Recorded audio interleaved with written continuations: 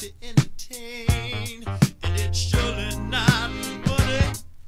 Success a famous name. No singing for this purpose, no other purpose will do. We're singing about Jesus and his gift of love.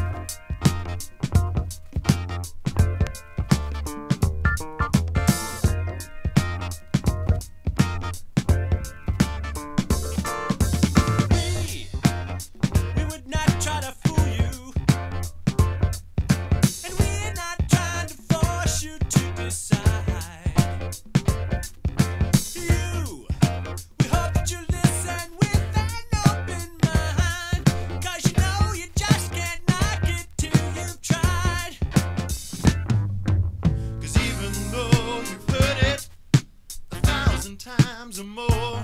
Well, you may have missed the meaning well, all those times before. So we want to share this message, and we've proven that it's true. A message.